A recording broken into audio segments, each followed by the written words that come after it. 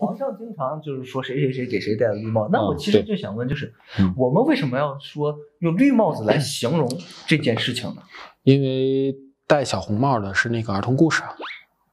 就这么简单吗？啊，不是开个玩笑，开个玩笑。就为什么要戴绿帽子而不戴红帽子为为什？么不是别的颜色？为什么不是别的颜色？对，呃，因为中国古时候的男人，很多时候都是戴绿帽子的。古时候，中国古时候大多数时候，男子一般他头上戴的帽子或者头巾什么的都是绿色呀、青色的。嗯其实他们穿衣服也是就是绿色的衣服或者青色，尤其青色的衣服，青衫。呃，有个诗，有一句诗嘛，“江州司马青衫湿”，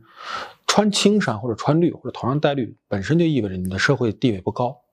哦，本身地位地位不高，然后甚至有些时候是一种有贬义的，就是你看你穿个青衫，你肯定是不入流的，哦本来就有这个意思。然后到了呃元明的时候呢，尤其到了明朝，他政府为了方便对各种职业的人等进行管理规划，他规定呢，呃昌家的男子就是从事特殊行业的这个男性，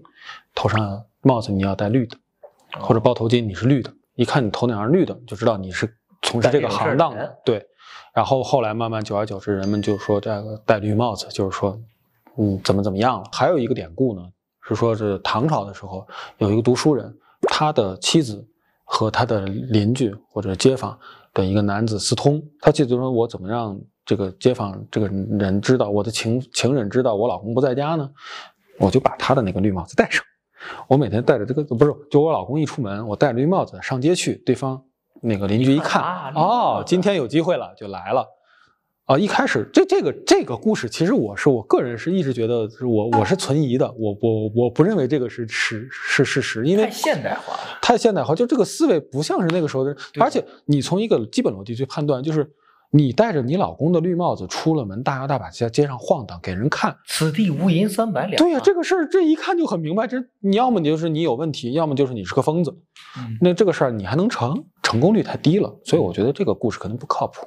正确的正解应该还是说，就是在这个历史演变当中，青色、绿色的衣帽，嗯从表示男性的社会地位不高，慢慢慢慢的，由于政府的一些行为，变成了就是他从事特殊行业的人干这个。然后到了明清后期到近代以来，嗯其实绿帽子说谁戴谁绿帽子的这个事情是近代以来发生，就是近代里固化下来这么一个概念，其实就是这么来的。对啊，嗯，反正虽然说咱们了解这段历史啊，反正 以后反正就是希望大家都不戴绿帽子，是吧？